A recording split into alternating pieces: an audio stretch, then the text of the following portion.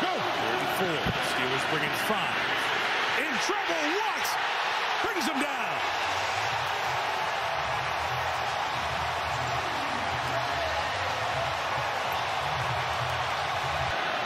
Maybe the last time your offense sees the ball. Geno Smith will drop deep. He'll pump. He'll take it. Lost the football. Knocked out by Watt. Recovered by Devin Bush, who circles the right way. He almost lost the ball.